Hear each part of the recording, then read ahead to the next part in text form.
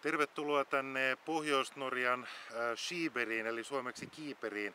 Tässä taustalla on äh, paikallinen partisaanimuseo. Ja tämä on hyvin mielenkiintoinen paikka, koska toisen maailmansodan aikana täällä taistelivat yhdessä suomalaiset, norjalaiset ja venäläiset partisaanit natseja ja, ja fasismia vastaan. Tässä vieressäni on, on tällainen kunnia muistomerkki niille partisaaneille, jotka antoivat elämänsä fasismin vastaisessa taistelussa. Ja niin kuin huomataan, niin tässä on sekä norjalaisia että suomalaisia että venäläisiä nimiä ja sitten tuolla alla, alla lukee, että Venäjä, Venäjä kiittää teitä.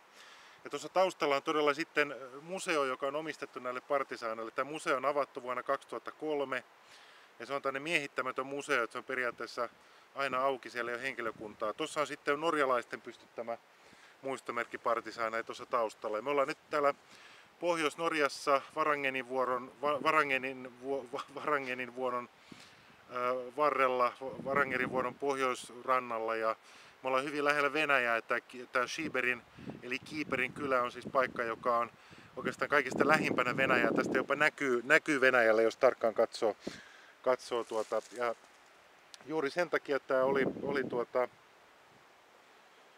Juuri, juuri sen takia tämä paikka oli siis näiden partisaanien, partisaanien tuota, keskuspaikka. Ja tämä oli hyvin tärkeä, tärkeä paikka tämän partisaanisodan kannalta.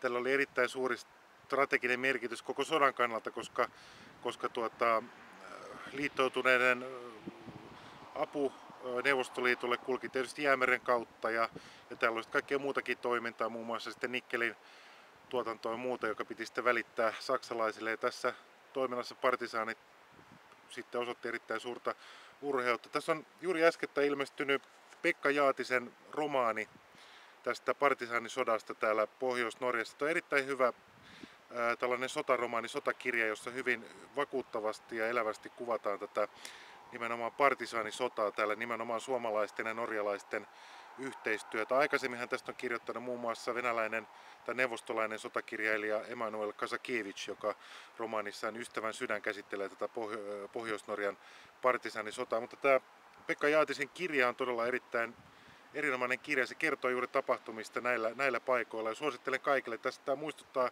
jonkin verran tämä kirja tuota, Jussi Talven Ystäviä ja vihollisia kirja, joka kertoo myös hyvin niin kuin elävästi sekä Neuvostoliiton puolella että Saksan puolella taistelleiden sotilaiden elämästä.